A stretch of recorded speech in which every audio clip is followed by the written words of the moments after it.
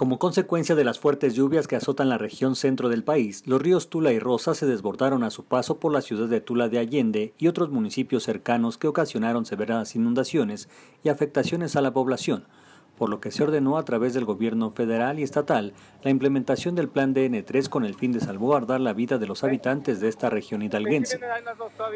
Los tres órdenes de gobierno, coordinados a través del Comité Estatal de Emergencia, suman labores para tratar de reducir el impacto de la afectación conforme a la administración de la emergencia y gestión del riesgo y se mantienen activas durante esta madrugada, informó el gobierno estatal. Además, se pidió a la Conagua abrir las compuertas de las presas Requena y que rebasaron su capacidad, a fin de que drenen el excedente de líquido y evitar una mayor crecida de los cuerpos de agua que han causado el desbordamiento del río Tula y el río Rosas.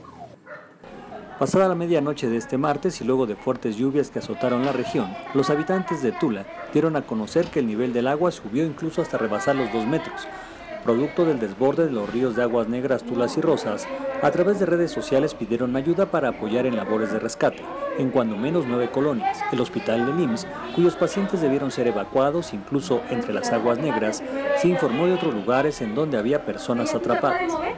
El gobernador Omar Fayad instruyó la movilización de unidades de emergencia, seguridad pública y protección civil hacia la región de Tula.